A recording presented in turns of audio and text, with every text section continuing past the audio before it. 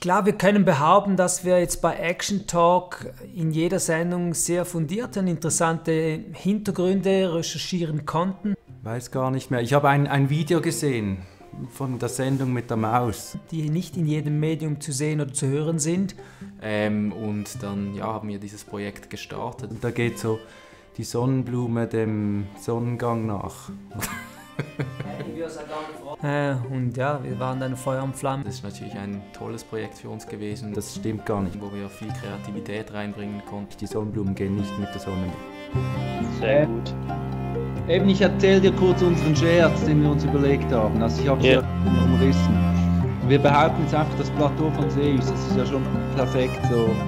Da bauen die jetzt so große Teleskope oben drauf ähm, und das Ganze wird dann zum Sperrgebiet.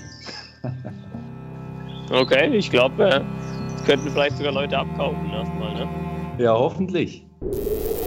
Breaking News aus Frankreich. Seus ist bedroht. Das weltberühmte Sportklettergebiet könnte schon bald nicht mehr so aussehen, wie wir es alle kennen. Wir haben viel gefälscht und ich glaube gut gefälscht. Wir haben eine 3D-Visualisierung ähm, in Auftrag gegeben. Mit eben diesen Teleskopen da auf Seus obendrauf.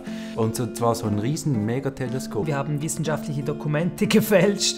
Es braucht ein Forschungsprogramm, äh, ein Logo. Wir müssen eine Website generieren, dass das Ganze glaubwürdig rüberkommt. Ähm, Profisportler mit an Bord geholt. Ja, und dann natürlich die Petition, die wir gefälscht haben. Das war also doch einiges an Arbeit. Das ähm, müsste irgendwie schon überzeugen.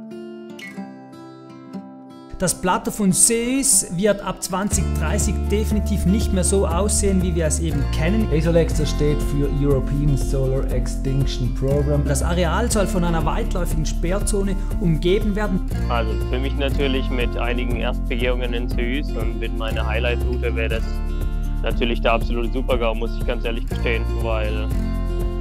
Super. Ich kaufe dir alles ab. Mich hast du schon. Genau, Alex Megos hat mitgemacht und Cedric Lascha.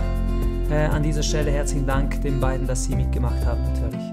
C'est moche, moche, moche. Même si peut-être c'est important, effectivement, mais c'est moche.